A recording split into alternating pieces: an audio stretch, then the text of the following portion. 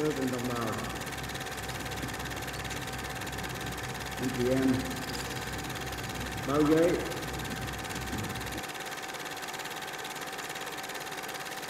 có vấn đề. Tổng công kích của cộng sản.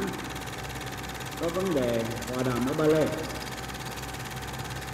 Mà tôi và tổng thống Nguyễn Kỳ chưa có dịp gặp.